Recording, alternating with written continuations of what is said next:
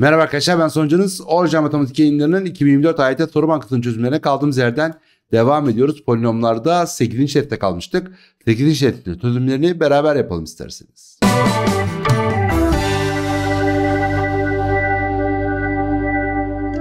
Şimdi ilk sorumuzda başlayalım bakalım bize neler anlatıyor. Px 3. derecen bir polinom. Tamam. Px polinomunun bunda bölümünden kalan 7. O zaman biz normal bunu buna böldüğümüzde ki burası kaçtır arkadaşlar? x artı 3 x eksi 1'dir galiba değil mi? Aynen. O zaman x artı 3 x eksi 1'e böldük. Bizim polinomumuz 3. derecen olduğuna göre buraya bir tane daha bir ifade gelecek. O da mesela ne olsun? ax artı b olsun. Artı 7'dir diyelim. Ve böylece px'i yazmış olalım. Olur. Daha sonra px'in x artı 3 x artı 1 ile bölümünden kalan da kaçmış arkadaşlar? Yine 7'ymiş. O zaman x artı 3 dedikten sonra burası da yine ne olsun arkadaşlar? Demek ki şurası x artı 1 olacak ki kalan yine aynı olsun. Şimdi x artı 3 x artı 1 ile bölündükten sonra hop burası gitsin. Tamam mı? Yani o zaman elimizde ne kalsın? Bir 7 kalsın. İkisi de, de kalan eşitmiş. E peki buraya bir baş katsayı yazalım illaki. Çünkü olmazsa olmaz orada baş katsayı ile ilgili bir yorum yapmamış. Ve bu P0'da kaç vermiş? 13 vermiş. O zaman x'e 0 verelim. P0 eşittir a çarpı 3 çarpı eksi 1 çarpı 1 artı 7 eşittir 13 ise eksi 3a eşittir 6'dan a eşittir eksi 2 yapar. O zaman a'ya eksi 2 verelim.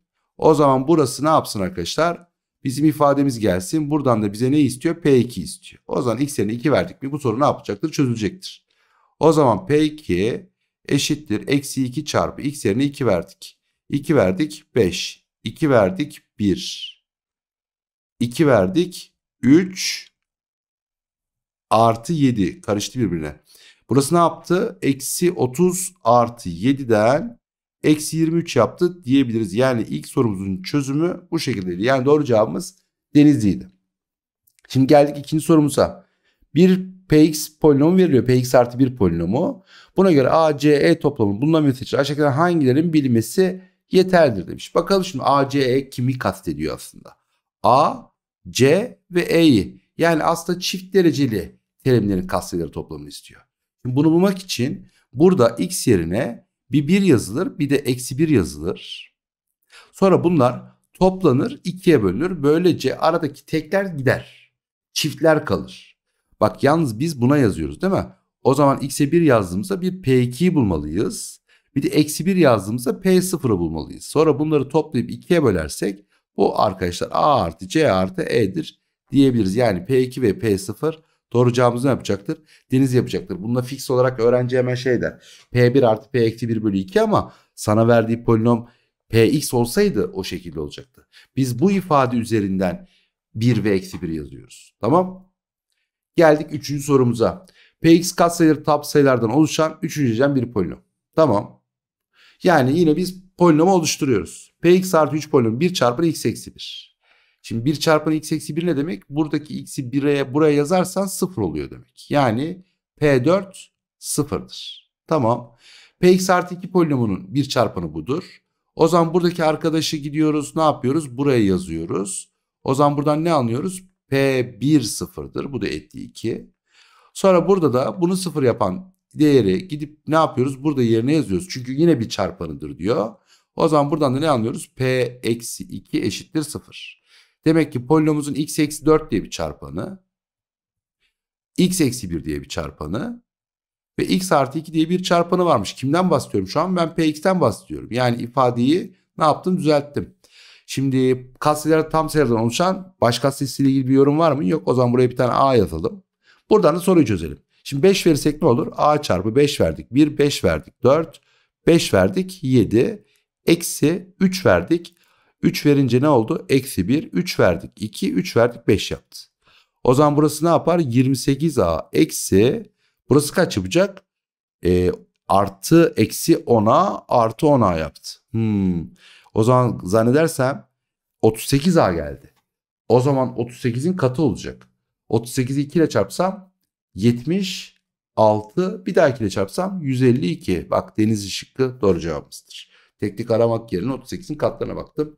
Orada da 4 katı bizi tatmin etti. Tamam. Hadi geldik sağ tarafa 4, 5, 6. sorulara.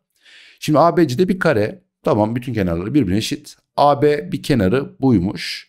X2'den büyük bir tam sayı olmak üzere uzunluğu bu kadar olan BE ipi ABC karesinin etrafını saat yönünde gergin bir şekilde döndürüyor, sarıyor. İpin, tamamı sarıldığında E noktası B noktasıyla çakışıyor. E noktası B noktasıyla çakışıyor ne demek biliyor musun? Şşt, döndürdün, döndürdün, döndürdün, döndürdün. Look nerede durdu? B'de durdu. Yani o zaman tam katıdır bunun etrafının. Şimdi AB bir kenarı. X kare bölü 4 eksi 1. Ben bunu 4 ile çarparsam x kare bölü 4 eksi 1'i o zaman ne yapacaktır? x kare eksi 4 yapacaktır. Yani bunun çevresi ne yaptı arkadaşlar? x kare eksi 4 yaptı. Anlaştık mı? Yani benim polinomum daha doğrusu ipim x kare eksi 4'e tam bölünecektir. O zaman biz de yapalım bakalım. x üzeri 4 artı 11 x kare artı a ifadesi kime tam bölünüyordu? x kare eksi 4'e. x kare eksi 4 de tam bölünüyor. Atıyorum buraya qx yazdım. Ne olduğunu bilmek istemiyorum. yani biliriz şimdi. Nasıl biliriz? E noktası B noktası çakıştığına göre A nedir demiş. O zaman x kare yerine 4 yazarsam cart burası gider. Vay güzel. O zaman x kare yerine 4 yazınca burası da 0 olacak. O zaman x kare yerine ne olur? 4 yazıyoruz. O zaman burası 4'ün karesi artı 11 tane 4 artı a yaptı. O zaman 16 artı 44 artı a eşittir 0'dan. a eşittir eksi 60'tır diyebiliriz. Yani doğru cevabımız 4. soru için Bursa'ymış. Hadi bakalım geldik 5'e. Birinci hocam bir px polinomu ile ilgili olarak polinomun sabitlerimi p2'nin polinoma yazıldığındaki karşılığına eşit. Şimdi sabitlerim ne demek? X'e 0 vereceksin demek. E verelim abicim. X'e 0 verdiğimizde ne oldu? P3 mü yaptı? Şimdi P3 eşittir P'nin içerisinde P2'dir. Tamam. Bak şimdi bu doğrusal olduğu için birinci derecen olduğu için bunda sıkıntı yok açıkçası. Ama bu parabol olsaydı benim başımı ağrıtırdı. Yani bu birinci derecen değil de bu soru ikinci derecen olsa bu soru bizim başımızı ağrıtır. Şey diyemezsiniz yani. P2 eşittir 3'tür diyemezsiniz. Tamam İkinci derecen olduğu için. Çünkü şöyle düşünün. Bir parabol olduğunu düşünün. Şu noktaların görüntüleri aynı ya.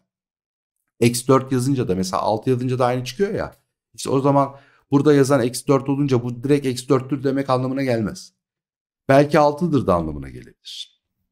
Ama birinci derecense başımızı ağrımaz. O zaman direkt P2 eşittir 3'tür yapıştır. Bak P2 eşittir 3'tür yapıştır. Tamam. Aynısını bunda yapalım. Katsayılar toplamı deyince x'ye kaç yazıyoruz? 1 yazıyoruz. 1'i buraya yazdık. P7 tamam mı? O zaman ne yaptı? P'nin içine P3 yaptı. O zaman burada P3 kaç yapacaktır? 7 yapacaktır diyebiliriz. Böylece aslında Px'e birinci derecense biz buradan soruyu çözeriz. Yani Px ne kabul edelim? Ax artı B kabul edelim. 2 verdim. 2A artı B kaç yaptı? 3 yaptı. 3 verdim. 3A artı B kaç yaptı? 7 yaptı. Bunu eksiyle çarpıp toplarsak buradan ne gelecek? A eşittir 4, B eşittir de eksi 5 mi gelecek? Yani benim Px polinomu aşağı doğru gidiyoruz ha. Px eşittir 4x eksi 5 yapar. P P1. Oo, P1'i bulduk. P1 kaç geldi? Eksi 1. Sonra bulduğunu bir daha polinomu yazacağız. Eksi 1 diye. O da kaç yapacak? Eksi 9 yapacak diyebiliriz. Bu da 5. sorumuzun çözümüydü. Hadi bakalım geldik altın sorumuza. Altın soru burada yapalım. Şurayı bir temizleyebilir miyim? Şurayı bir temizleyebilir miyim Can kardeşim? Oldu mu? Şimdi Px bir polinom. Bu polinomun çift derece terimlerin katsayıları toplamı P2 bölü 2. Şimdi nasıl yapıyorduk? Şimdi normalde P, şimdi sizin bildiğiniz bir taktik var. P1 artı P eksi 1 bölü 2. Ama bu ne zaman biliyor musun? Px için geçerli. Burada bana Px artı 1 polinomunun dediği için ben x yerine burada bir 1 bir de eksi 1 yazacağım. Yani 1 yazdım P2. Eksi 1 yazdım. Kaç yaptı? P0.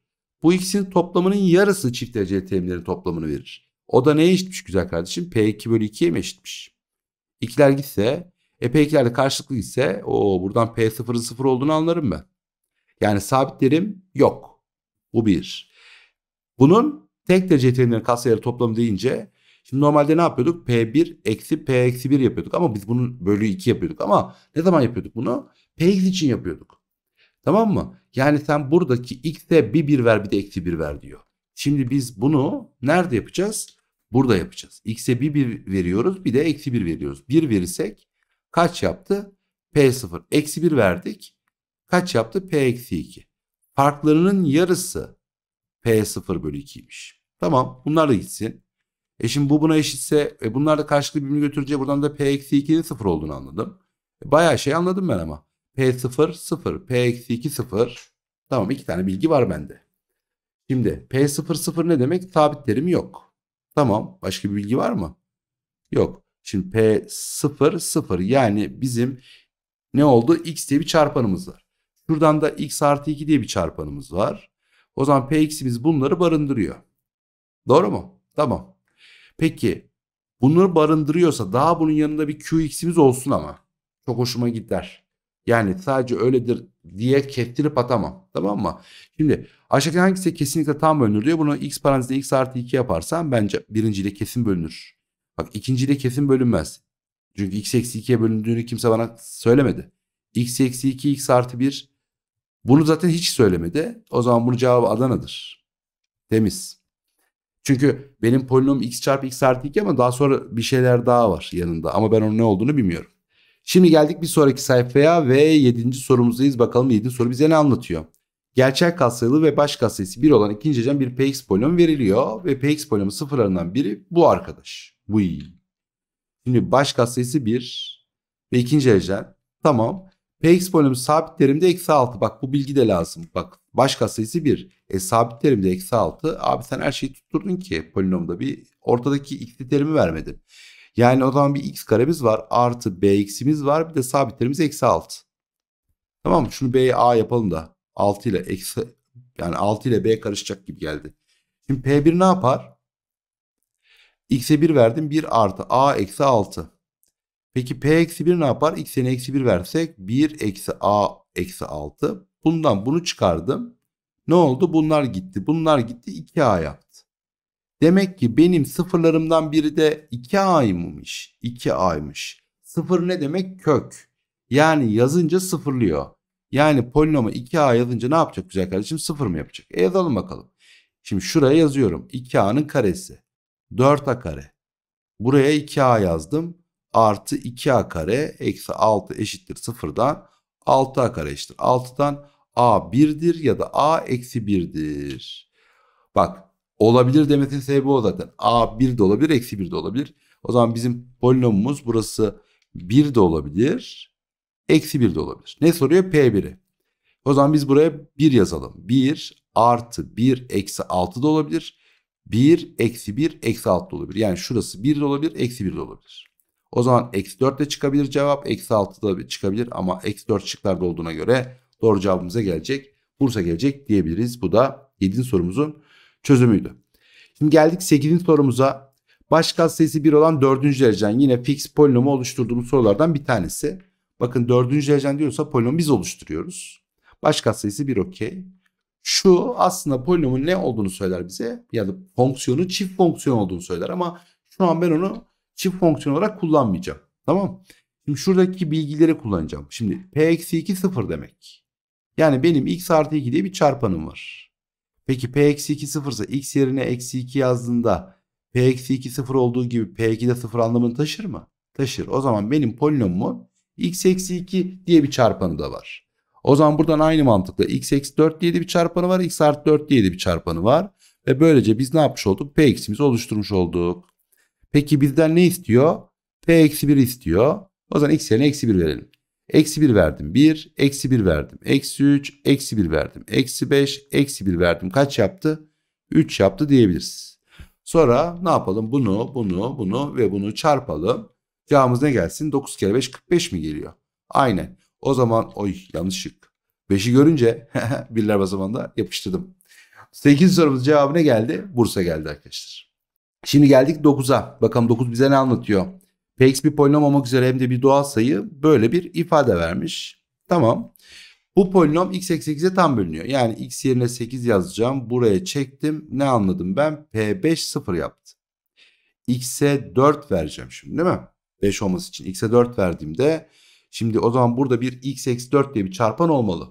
Yani m sayısı 4'ten nedir arkadaşlar? Büyüktür ya da eşittir. Kesin bilgi.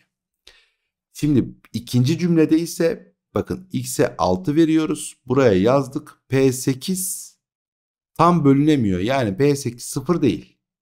8 olması için x'e kaç yazalım? 7. x'e 7 yazdığımda demek ki burası sıfırlamadığına göre m sayısı 7'den küçük olmalı.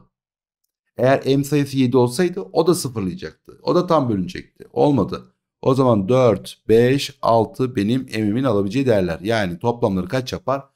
Adana yapar diyebiliriz. Bu da 9. sorumuzun çözümüydü. Şimdi geldik sağ tarafa son 3 sorumuza. Px en büyük dereceli teriminin katsayısı 1 olan ikinci derecen bir polinom. Tamam. Yani bizim Px'imiz baş katsayısı 1. Parabol belirtiyor. Değil mi? İkinci derecen olduğuna göre. Peki bakalım. P5 ile P1'in çarpımı 0. Ben buradan şunu anlıyorum. Bunlardan bir tanesi kök. Ya bu kök ya bu kök. Tamam. Şimdi bu parabol. En büyük dereceli terim katsayısı 1. Yani kolları yukarı bakıyor. Şimdi 4 ile 7 zıt işaretli. Yani bunlardan biri artı biri eksi. Şimdi bu, şöyle yapalım. Bu eksi olsa bu artı. Bu eksi olsa bu da artı. Şimdi 4 aşağıda kalacak. 2 ve 7 yukarıda kalacak. Şimdi 2 burada olsun. 4 burada olsun. 7 burada olsun. P0 25 bölü 2'miş bu arada. Yani o zaman şöyle gelecek. 25 bölü 2'den geçecek. Şimdi 2'nin görüntüsü artıda bir yerde artıda şöyle dönsün. 4 aşağıda nereden döndüğünü bilmiyorum. 7 de yukarıda kalacak. O zaman demek ki P5 ya da P1 sıfırsa bak bu nereden geçecek biliyor musun? Buradan geçecek. Şimdi şuradan geçme şansı yok. Buradan geçse şimdi eğer ki P1 sıfır olursa o zaman P2 negatif olur. P2 negatif olursa P4 pozitif olur. P4 pozitif olursa şimdi P4 nasıl pozitif olacak? Burada pozitif olacak. P4 pozitif olursa P7 de pozitif olur. Böyle bir şans yok. O zaman bizim şuradan anladığımız şunları ben iptal edeyim. P5 sıfırdır. Yani bu arkadaş sıfırdır. Şimdi bu buradan gelecek. Bu buradan gelecek. 1'den geçecek. Şimdi birin şimdi P2'nin nasıl demiştim ben bunları? P2 pozitif olsun bu negatif bu negatif bu pozitif olsun. Şimdi bu böyle gelecek. P2 yukarıda kaldı. Dö döndü. Şurada bir yerde 5'te kesti. O zaman bizim x eksi 5 diye bir çarpanımız var. Peki ikinci derecen baş katsayısı 1. E peki x'e 0 verince 25 bölü 2 yapıyor mu? O zaman bu da şey geldi galiba. Ne geldi? 5 bölü 2 geldi ki bu ifade düzelsin. Evet oldu bence. Buradan da P6 istiyor. X'e 6 verirsek 1 çarpı 6 eksi 5 bölü 2'den cevabımız ne gelir arkadaşlar? 7 bölü 2 gelir diyebiliriz. Bu da 10. sorumuzun çözümüydü. Geldik 11'e. 11'de diyor ki uzunluğu olan bir kumaş A, B ölçütleriyle tam ölçülebilmektedir. Yani A ve B ölçütleriyle demek ne demek? X artı 1'e, X artı 2'ye, X artı 3'e pardon X artı 1 ve X artı 2'ye tam bölünüyor demektir. A, B ölçütleriyle tam ölçülmektedir. Peki C ölçüsüyle ölçüldüğünde 2 metre kumaş artıyor. Yani tabiri caizse X artı 3'e böldüğünde kalan 2. Nasıl yapalım? O zaman X artı 1, X artı 2 diye çarpanlarımız olsun. Sonra buraya da bir X artı K yazalım. P eksimiz bu gelsin. Hocam baş sayısı buradan bak baş sayısını söylememiş bana ama orada tüyoyu veriyor. Baş sayısına bakarak ben anlıyorum. Peki bir de ne demiştik? X artı 3'e bölümünden kalan şimdi Px'in X artı 3'e bölümünden kalan 2. Bunu buraya yazıyoruz. P eksi 3'ün 2 olduğunu anlıyoruz. Burada da x yerine eksi 3 verince 2 olacak. x yerine eksi 3 verdik. Eksi 3 verdik. Eksi 3 verdik. Eksi 3 verdik. Burası ne oldu? Eksi 2. Burası ne oldu? Eksi 1. Burası ne oldu? K eksi 3. Bunların çarpımı böyle kaç eşitmiş? 2'ye. O zaman 2 parantezinde K eksi 3. 2 ise burası kaç yapar? 1. K ne yapar? 4. O zaman K'ya 4 verdik. Peki ben buldum polinomu. Doğru mu? Evet. Bana ne soruyor? A artı B artı C. Bak şimdi. Nasıl elde edersin? Bak çok sevdiğim. Bunu bana parabolde falan da geliyor bu soru. E, katsayılar toplamıyla P1 ile ne elde edeceksin? 1 artı A artı B artı C elde edeceksin. Bak çok güzel. Bazen parabolde mesela şey sorarız. E, şey soruyoruz mesela nasıl vereyim? X kare artı X artı 1 verdi mesela. A, B, C dedi. 4A artı 2B artı C nedir diye soruyor. Yani aslında parabolde x yerine 2 yazıyor ya da polinomda x yerine 2 yazıyor. Aynısı burada da olabilir. Şimdi biz ne bulduk? Polinomumuz burada. P1'i istiyor bizden. P1 ne buradan? Bakalım mı? P1 x yerine 1 veriyoruz. 2, 3, 5. Yani 30. Yani burası 30 sa bu kızan kaç gelir? 29 gelir diyebiliriz. Bu da 11. sorumuzun çözümüydü. Geldik 12 geldik 12. sorumuza ve dersimizin de testimizde son sorusuna bir öksürük tuttu. Kurtulamadım. Soruyu tekrar baştan çözüyorum. Hadi bakalım inşallah toparlayacağız. P ve Q birer polinom. P polinomunun Q x artı 1 polinomlarını vermiş. Buna göre bunlar da eşit olduğuna göre m eksi n farkı nedir diye sormuş. Peki bakalım. Şimdi isterseniz şöyle bir şey yapabiliriz. Yani nasıl diyeyim sayılar vererek buradan değerler bulabiliriz. Yani eşitlikleri sağlatabiliriz. İsterseniz x yerine x artı 1 yazarız. Burada da bunu da qx'e çekeriz. Birbirine eşitleriz. Karşılıklı olarak birbirine eşitler deriz. Hangisini isterseniz. Yani benim kolayıma şu an herhalde sayı vererek gitmek geldi. Mesela x'e 1 versem yani P2 eşittir Q1 anlamı taşır. E ben de buradan yürüyeyim olmaz mı? Şimdi P2 eşittir Q1 ise X'e 2 verelim burada. X'e 2 verdiğimizde ne yaptı? Zaten burası gitti 0 oldu. O zaman P2 sıfırmış. O zaman Q1 de sıfırdır. Vay güzel. Q1 sıfırsa bakalım Q1 sıfır oluyor mu? X'e ne vereceğiz? Sıfır mı vereceğiz? Bu gitti bu gitti. Sıfır verdik. Bu da gitti. Bu ikisinin çarpımı eksi 4m neye eşit olacak? Q1'e yani sıfıra o zaman m buradan sıfırdır. İyi güzel hoş m'i sıfır bulduk. Vay güzel oldu. O zaman burası gitti. Şimdi buraları bir sildim. m'i sıfır buldum. Anlaştık değil mi? m sıfır yani böyle bir şeyimiz yok aslında bizim. Bunu iptal ettik ortadan kaldırdık. Şunu da sildik. Tamam. Şimdi başka bir değer sallayalım. Mesela biraz önce ne vermiştik? Sıfır, sıfır verdik. Bir verdik iki verdik değil mi? Sıfır verelim bir verelim. Peki şimdi olur mu? O zaman P1 eşittir değil mi? O zaman burası Q0 olacak. Burası Q0 olacak. Çünkü cümlede hepsine x'e 0 veriyorum ya. P1 nedir? X yerine 1 yazıyoruz. O zaman 1 eksi 4 eksi 3 tane 1 artı n P1 yaptı. Şimdi Q0 için x'e eksi 1 vermek lazım. Eksi 1 verelim ne geliyor? 1 eksi 3 eksi 4. Burası ne yaptı? Eksi 6 Burası da eksi 1. Burası 6 yapar. O zaman 1 artı n kaç yaptı? Eksi 2. N de buradan ne gelir? Eksi 3 gelir diyebiliriz. Yani sayısal değer üzerinden yürümek istedim. Evet polinom eşitliği yaparım uzar ama böyle daha kolayıma geldi. M eksi n nedir demiş. 0 eksi eksi 3'ten de doğru cevabımız ne gelecek arkadaşlar? 3 gelecek diyebiliriz. Ve böylece 12. sorunun da çözümlerini yani polinomların tekinci seti çözümlerini tamamlamış olduk. Bir sonraki testte görüşmek üzere. Kendinize iyi bakın. Sıkı çalışın. Hoşçakalın.